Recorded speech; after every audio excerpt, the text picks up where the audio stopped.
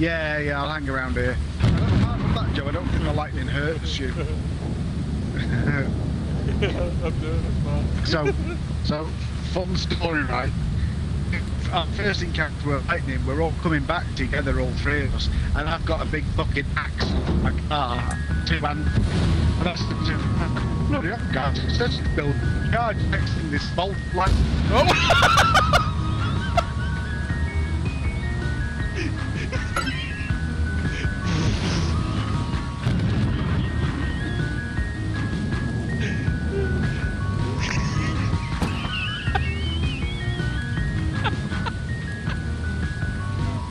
Ooh.